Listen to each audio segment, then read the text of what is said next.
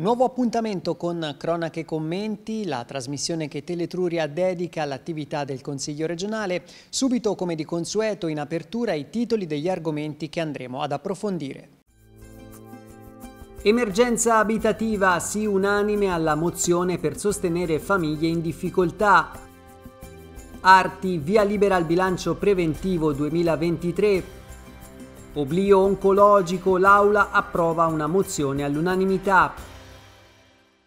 Il tema dell'emergenza abitativa torna nell'aula di Palazzo del Pegaso e lo fa attraverso una mozione votata all'unanimità presentata dal consigliere del Partito Democratico Vincenzo Ceccarelli prevedere adeguate risorse nazionali per il sostegno all'affitto, alla morosità incolpevole e alle ristrutturazioni degli alloggi ERP. Questi gli impegni richiesti nell'atto alla giunta toscana affinché si rivolga al governo nazionale. Una mozione che abbiamo ritenuto doverosa perché in un momento di particolare difficoltà dopo la pandemia, con l'inflazione a due cifre, eh, con eh, il caro energia che sta minando il bilancio delle famiglie, il governo nazionale non ha messo nessuna risorsa per quanto riguarda uno strumento fondamentale per intervenire e attenuare il disagio delle famiglie in difficoltà, vale a dire il fondo per il contributo affitti che riguarda circa il 20% delle famiglie eh, toscane, il fondo per quanto riguarda la morosità incolpevole, risorse per intervenire nella ristrutturazione degli edifici ERP che si liberano e vanno risistemati prima di essere eh, riattribuiti.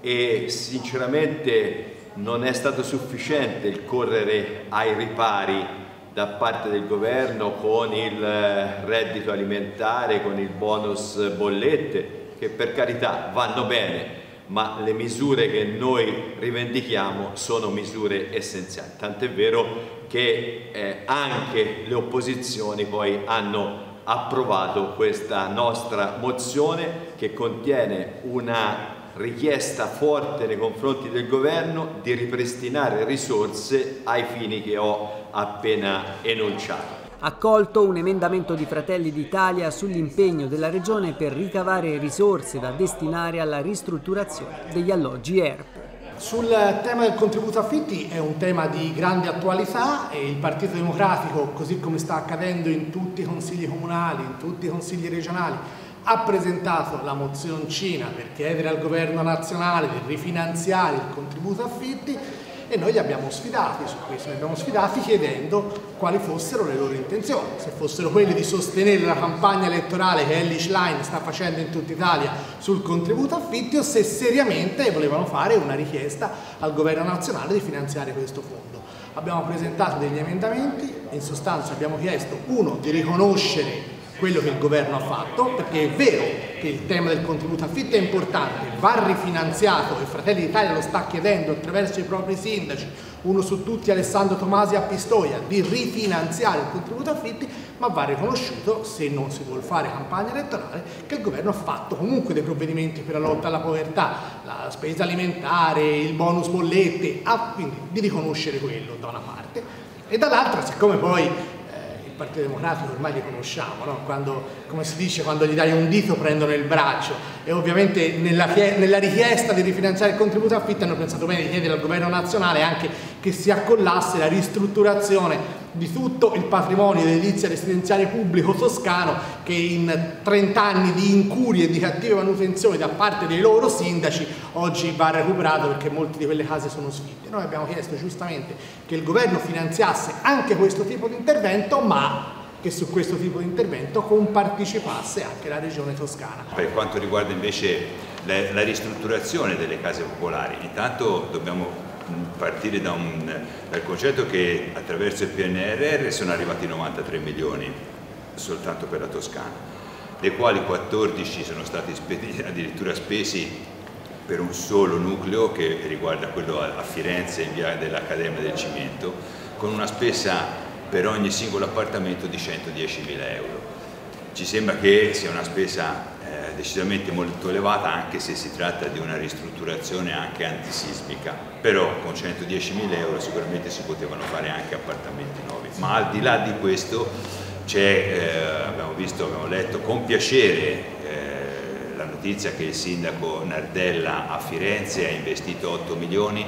per ristrutturare 500 appartamenti, beh, dividendo 8 milioni per 500 appartamenti sono 16.000 euro, non credo e non so quale tipo di intervento si possa fare con 16.000 euro in un appartamento se vanno ristrutturati. Per cui ecco, mi sembra che sia anche questa una, una notizia piuttosto più propagandistica che, che, che concreta. E niente, non ultimo mi sono permesso eh, tempo addietro proprio in virtù delle difficoltà del dopo Covid e di tutto quello che si sta passando adesso personalmente di aver fatto una richiesta ai nostri parlamentari da portare ai ministri di competenza l'istituzione di un miliardo da destinare alla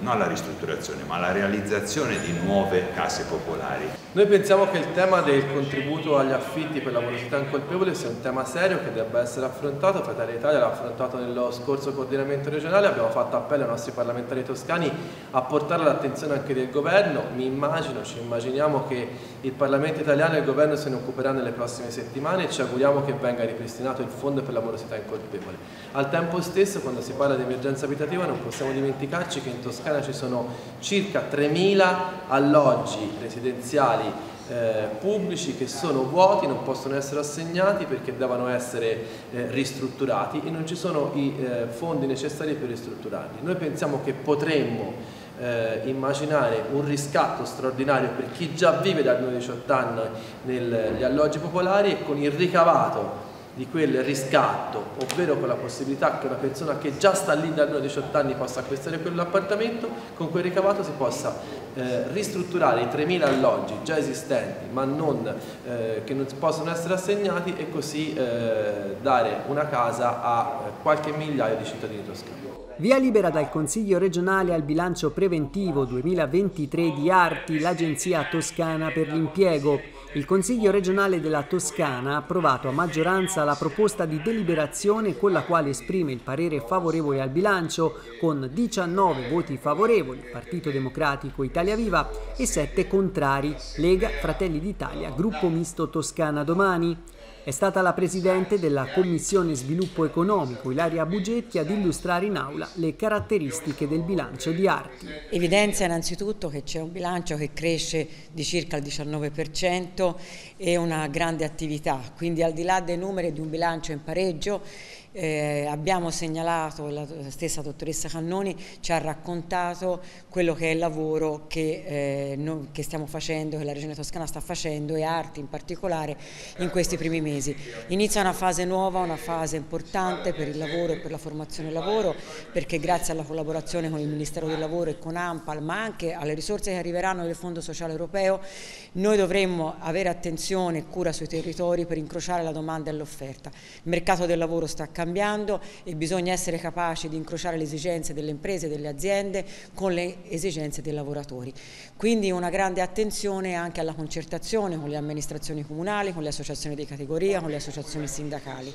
È un momento importante, quindi anche sui vari territori sono stati realizzati dei protocolli nelle varie province che mettano insieme tutti questi soggetti affinché si possa davvero calibrare sulle esigenze di ciascun territorio che è sicuramente diverso rispetto eh, alle varie varie province della Toscana e quindi poter dare una risposta alle esigenze del lavoro ma soprattutto creare corsi di formazione che siano aderenti il più possibile a quelle che sono le necessità dei lavoratori ma anche delle imprese artigiane e imprenditoriali. Sicuramente il eh, Arti è oggi eh, un'agenzia regionale chiave, se non altro perché sono state investite sulle politiche sociali del lavoro eh, tantissime risorse, si parla di 200 milioni da ripartire a livello regionale a partire dal piano nazionale di ripresa e resilienza. Naturalmente tutto questo impone un monitoraggio attento rispetto a quello che è eh, un costo, soprattutto che, che, è legato all'aumento del personale. Si parla in Toscana di, di, circa 1058 unità che verranno assunte nell'ambito del 2023. Ora, eh, noi non possiamo pensare che eh, il lavoro lo trova chi viene assunto in arti, perché poi questo diventa il paradosso.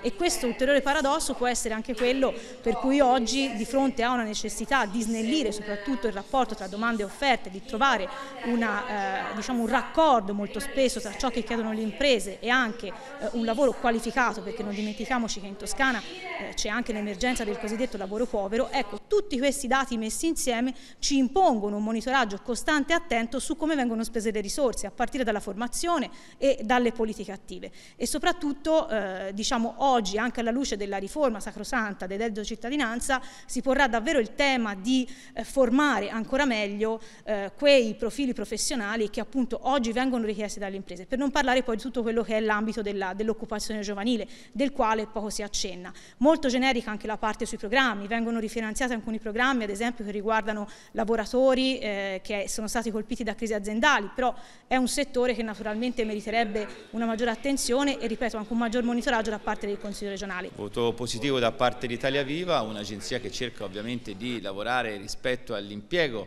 del personale, cerca la ricerca dell'occupazione, della prima occupazione, il ricollocamento delle persone, il tentativo di ovviamente di migliorare la qualità della vita della persona trova da parte nostra massimo sostegno è la logica del lavoro che deve ovviamente nobilitare l'uomo e non quella dei sussidi, è il motivo per il quale noi abbiamo sempre e convintamente investito sulle politiche di arti che sono delle politiche di carattere regionale che però tengono conto anche delle impostazioni di carattere nazionale. L'agenzia fa sicuramente un grande lavoro per tutto quello che riguarda le pratiche amministrative che spesso i disoccupati o coloro che hanno lavori stagionali devono fare, si pensi al grande lavoro che sostengono ogni settembre quando tutti i lavoratori stagionali vanno a farne la richiesta e spesso si trovano appunto tutti questi dipendenti a trovarsi ad affrontare una grande quantità di persone con difficoltà anche logistiche per riuscire a soddisfare tutti i bisogni che ci sono da un certo punto di vista le esigenze eh, maggiori è quello di colmare il mismatch, cioè l'incontro tra domanda e offerta di lavoro. E ancora su questo si fa fatica perché il problema è strutturale, non attribuibile ad arti. Se si pensa che in altri stati come l'Olanda, la Germania si hanno quattro volte tanto i dipendenti per le agenzie dell'impiego, si capisce anche il valore che viene dato a, questa, a questo tentativo di incontrare la domanda e l'offerta. E in questo la Regione, a parte appunto mettere a disposizione del personale, altro non fa, perché c'è necessità di un dialogo costante con le imprese, cercare di rifare più formazione, formazione che venga ben individuata su quelle che sono le esigenze e la Regione Toscana da questo punto di vista non è tra le più virtuose. Il diritto all'oblio oncologico al centro di una mozione approvata all'unanimità dall'Aula. L'atto di cui è primo firmatario Stefano Scaramelli di Italia Viva chiede il riconoscimento del diritto di parità di trattamento e non discriminazione delle persone guarite da patologie oncologiche psicologiche chiede un impegno fattivo della Regione Toscana nei confronti del Governo e del Parlamento perché la questione dell'oblio oncologico venga approvata anche a livello nazionale è un'opportunità per consentire alle persone che hanno sconfitto il tumore nella propria vita di avere un accesso libero a molti servizi, in particolar modo bancari, assicurativi, pensiamo all'adozione di un figlio, cioè il fatto di aver sconfitto un tumore deve riportare, la scienza lo dimostra, all'anno zero fondamentalmente, rigenerare una persona non soltanto perché vince una sfida e molte volte poi si trova poi limitata nell'accesso di alcune funzioni. La legge deve liberare le persone che hanno sconfitto il tumore da questi vincoli, da questi cavilli, penso la questione più importante sia quella delle adozioni, ma non solo, anche l'accesso a un mutuo, così come a una prestazione assicurativa, è una persona che hanno superato una malattia e come tali tornano a essere ovviamente sane e come tali devono avere diritto come le altre a poter accedere a dei servizi che sono di natura ovviamente civile e quindi serve un impianto normativo nazionale, una battaglia che a livello nazionale sta portando avanti eh, Maria Elena Boschi e noi stiamo sostenendo come Regione Toscana. Diciamo che questa mozione che è stata emendata proposta stavolta da Scaramelli è una mozione che viene ripresentata a distanza di quasi un anno perché era stata presentata l'anno scorso dal Partito Democratico, votata da tutti all'unanimità, su un tema molto delicato e quindi per proporre una legge in Parlamento che ancora non c'è e che darebbe il diritto dell'oblio alle persone malate oncologici. Questo è un tema sensibile perché? Perché i malati oncologici ancora oggi hanno difficoltà nell'accensione dei mutui, nell'assicurazione, nelle adozioni, in quella che è la vita reale di tutti i giorni e quindi anche nella vita lavorativa. Riteniamo che questa legge sia una legge di dignità per queste persone che una volta guariti hanno il diritto di riscattarsi e di vivere una vita normale come tutte le persone che sono guarite. L'avevamo presentata allo scorso governo e allo scorso Parlamento, l'abbiamo riproposta eh, anche adesso affinché si smuova qualcosa perché il tema è davvero un grande tema che tocca tante tantissime persone. Ed è tutto, questa era la nostra ultima intervista, grazie per averci seguito, Cronache e Commenti torna la prossima settimana.